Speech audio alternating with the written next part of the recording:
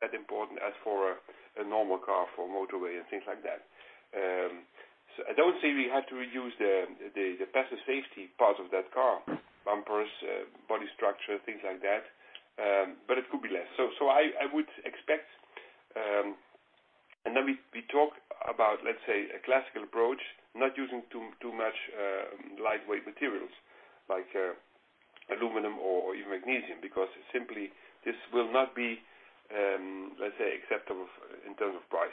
So it will be a steel body, some plastic panels. So I would expect if 100% is the basic cost of a of today's uh, A segment for a car, I could imagine that it could be reduced by by 30%, 40%. Yeah, But this is a very specific urban car, again. Yeah. I don't say it's a low-end car because the customers Uh, driving this car. Excuse me. Sorry. Can we just stick to the C segment that we were talking as you know, the kind of the core of the market? Mm-hmm. So on that, uh, you know, focusing on that segment. Yeah What kind of, uh, you know, What kind of things can you one change so that the cost of the car decreases? Yeah. Well, of course, for everything I'm going to tell you now, we have to to start or to continue thinking about modular approaches. A car is built up by modules, which is still the case today, but you can imagine due to uh, the the majority and the diversity of cars, the modularity is important, but still very huge. In a BEV car, you can imagine that the modularity of that car is is more simple. You have a front end, a rear end, you have dashboard, you have seats, you have your battery pack, which is uh, centrally uh, positioned in that car. Um, rear front axle are quite modular and standardized. So again, the degree of modularity is higher in this BEV, which reduce the price. So with C segment car- Why and why why do we need less modularity with BEVs than with ICEs? I mean, couldn't one say that you can do exactly the same initiatives even with with ICEs, you can reduce modularity?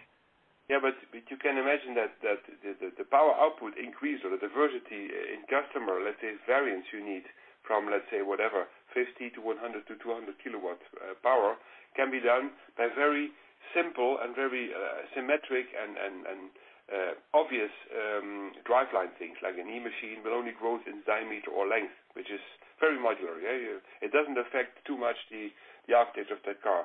Batteries, they are I mean if it's a 50 kilowatt hour battery or 100, um, yes, in size it will change, but it's very modular in itself. That means that the basic platform can be similar Uh, in a C segment uh, example um, than in a low end or in an entry type of car in C segment. That means that's what I think. The other things in the car, you could say, well, uh, a dashboard or seat module can be the same. Yeah. Okay. But but the way to package these things are are due to the fact you have more room in that car, also can be less less complicated. This is my personal, I don't say this is built on on 100 years of experience, but this is how you have to uh, think about new cars. If not, you know, uh, the car will stay far too expensive. Now, we have to add one thing uh, also, In this, well, a little bit later than the full BEV penetration, we will have autonomous driving. You know, and um, this will add some costs due to the fact we have sensors on board, actuators, everything has to be electrical, like steering, braking, suspension, including driveline, Um, which increases the cost. So this this value you you add has to be paid as well. So I I don't have a real absolute price for this, but you can imagine um, safety, uh, traffic congestion, but even environment and CO2 are positively influenced by autonomous driving. And that means that the customer can pay for this. He is able to do this because he gets some some value, additional value. But let let's take that apart. The full Um, uh, reasoning I just was trying to explain is that the C segment modularization is less diverse than in the case of an ICE-based C segment car. Mm-hmm. Okay. Can we keep going? Yes. Yeah. Where do you want to? Well, Where were we? I mean I think we were talking about ways to reduce the cost of the uh, um of the battery electric vehicle. Yeah. So so if you take the uh, the supply chain of uh, of a BEV, um, I just mentioned that um, today, I mean, cells will ever be purchased by you know by by, by